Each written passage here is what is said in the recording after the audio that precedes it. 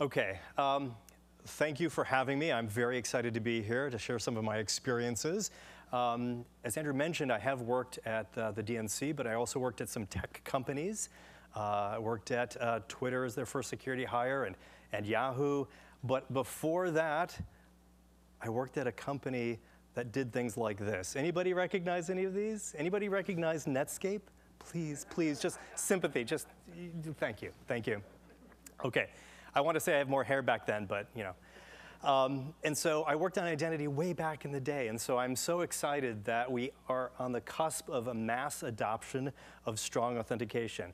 And uh, so I'm just, I'm just tickled to be here. Now, one of the things I always start off every slide deck with is this idea that we're up against dedicated human adversaries who work in campaigns. And we, we think that we know this, but I would argue we don't really act like we know this. And one of the things that I tell people is that the attackers that we're up against today, they're dedicated. They show up in teams of people. They wear military fatigues to work every morning or maybe flip flops and, and cargo shorts. But this is what they do. They work to, to subvert all of the things that we want to do. They're human, which means they get to decide what to do when you all employ better security. They know that it happens and they get to find ways to subvert it. And they work in campaigns, which means, well, it can take years. They'll chip away at the problem year after year after year. And I think we see this general sense that we, we don't really think about this, this idea often enough. And one of the things I want to talk about is this clear and present danger. Um, now, this is the kind of idea that means that people don't love to talk to me at cocktail parties because I tell them all the ways in which things can go terribly wrong. And, but I, I do think that we're on the cusp of, of some very dangerous things. But I want to rewind a little bit and talk about some experiences that maybe some of you had. Anybody remember the objections to HTTPS for all connections? There have to be a few people. Yeah, people, people did not want HTTPS for all network connections. Performance costs, Bob, we have to buy a lot more machines. We're gonna have to have new teams of people trained to maintain this. We're gonna not see any ROI. Nobody really cares. Customers aren't asking for it, just people like you, Bob. And it breaks advertising workflow. So we definitely want advertising money, so don't love that. Um, and we actually have it for the portion of the workflow that really matters, which is login. That's what they told us. And for the love of God, there just aren't any real world attacks. So we're not, we're not going to do it. And then Firesheep. Anybody remember this? Yeah, a few people. A few people remember Firesheep. So Eric Butler released this tool as a Firefox plugin, and what it would do is it would sniff on the network, on your local network, and if it saw session cookies from services it knew about, like Twitter and Facebook, it would hijack those cookies, and you would then have given them your credentials, basically. And so they could just sniff the wire and become you. And this was a big problem. And you know, internal to a lot of organizations, there were people who were advocating for HTTPS across the entire site without a lot of success. This tool started to get the motions going forward. And, and that's a bit of a shame because we kind of knew this day was coming, but we, and we had the tools to, to, to do the right thing, protect our site but we didn't use it. And so Firesheep was really a great sensitizing event. It caused us to understand what could happen. I would argue this was already happening with malicious actors, but they didn't advertise it. So we didn't know. These were invisible attacks. And, and so I wonder, were there, are there things that we should be thinking about now with regard to identity and access management? I think yes. Anybody remember this Twitter hack? This was only a year ago. This really freaked me out, not just because I used to run the security program at Twitter, but because what happened was these adversaries called up support people, tech people, and they tricked them into going to a certain website controlled by the hackers, and then they were uh, instructed to enter their credentials, but not just their name and password, but also multi-factor authentication codes. I would argue if this had been the kind of attack that you saw against uh, some sort of SaaS provider, it would have been much more of a kick in the pants than it was. People thought, oh, it's just Twitter, it was just a prank. They were trying to get some Bitcoin, and then people just kind of let it go. But I think about this hack almost every single day because this is the sort of thing that can happen almost anywhere. And it is. So if you take a look at the news, and I, I got tired of like grabbing the latest screenshots and dumping them into my slide deck, but on a regular basis, we see articles where these phishing attacks, they're bypassing two-factor. Tool automates phishing attacks that bypass 2FA. Of course they're automating it. That's what the attackers do. They work in long-term campaigns, and of course they're going to be building eh, efficiencies here.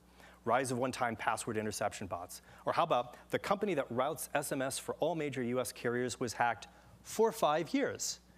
Now you have to wonder about SMS two-factor when you see something like this.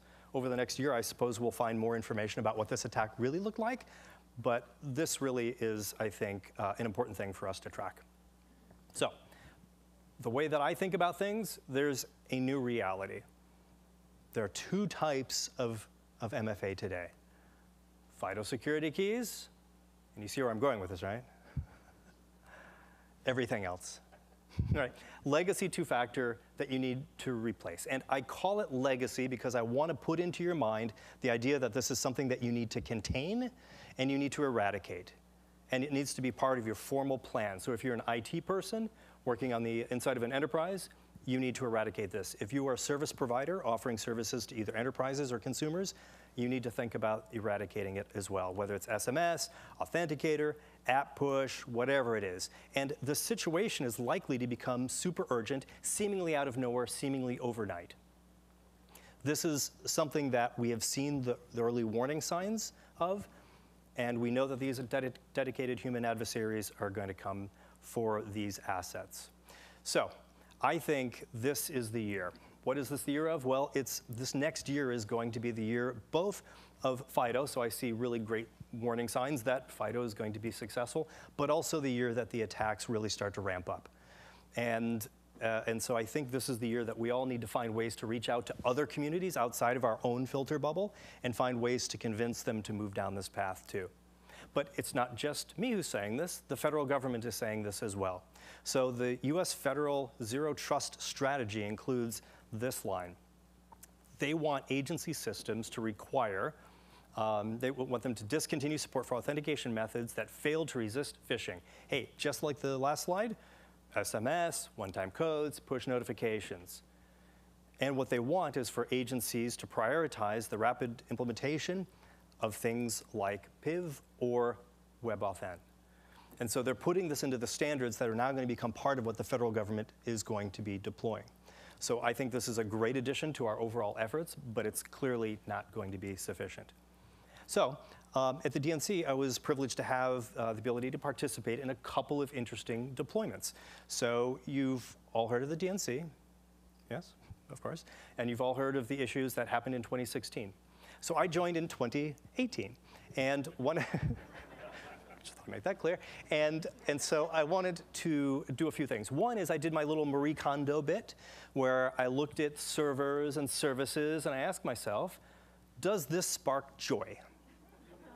And if it didn't, I got rid of it. Now, it's easier said than done. You all know that. It took a lot of work, but I got rid of a lot of technical debt. The other thing, which you might imagine that I would do, is I wanted to start building a foundation of good security practices. And I had the opportunity to start deploying FIDO security keys. And so we started to do that with quite a lot of rigor. And so it's the case today that if you're a DNC staffer and you need to log into the systems at the DNC, you have to use FIDO security keys. And, and the team is just really uh, rigorous with applying that and making sure that people don't fall through the cracks. And, and so I think this is an interesting little subcase. You know, there's not, not a million people at the DNC, just a few hundred.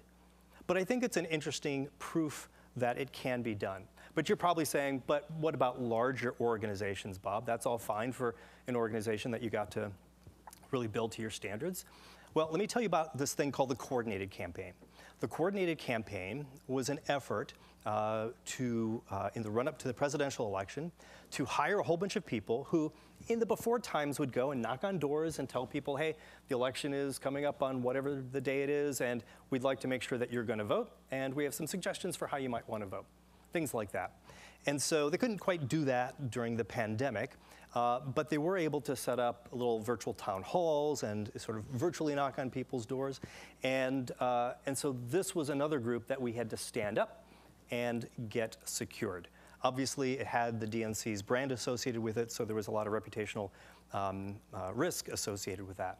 So this was much larger than the DNC. There were about you know, 3,200 people.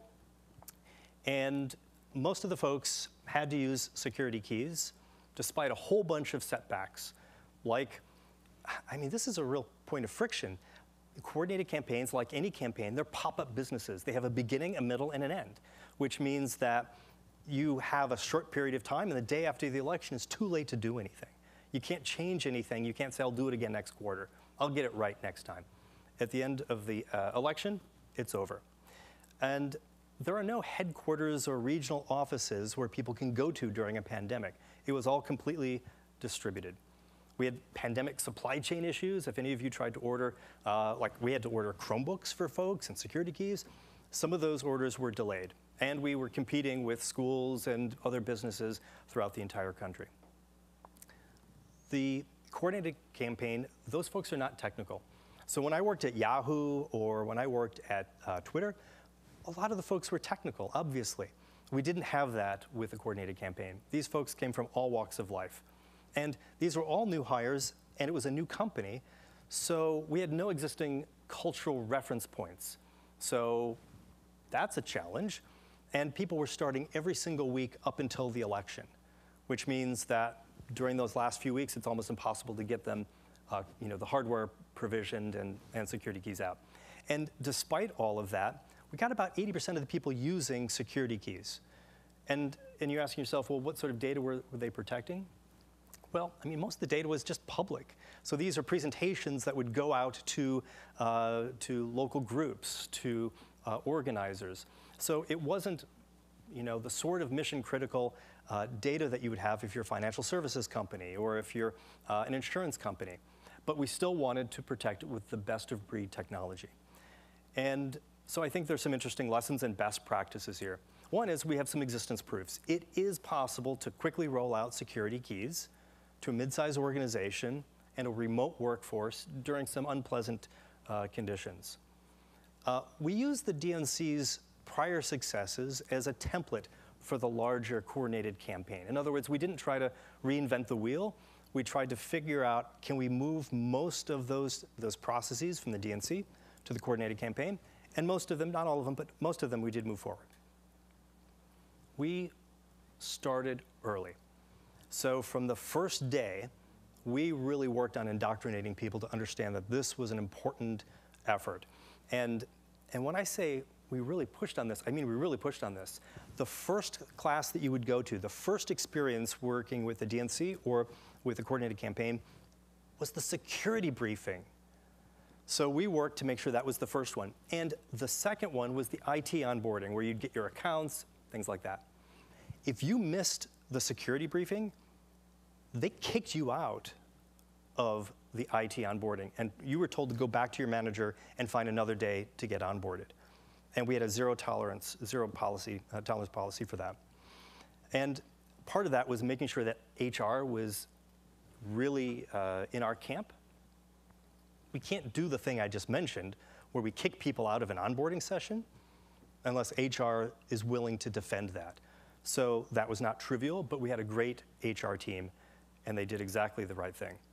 We also had to spend a lot of time hunting for scofflaws, but scofflaws, you know, sometimes they're people who just aren't able to do it for whatever reason, and sometimes based on other identity workflow, they may fall out of the system, and so we had to be on top of it every single day. We had to run reports to find out who was not fully enrolled in security keys.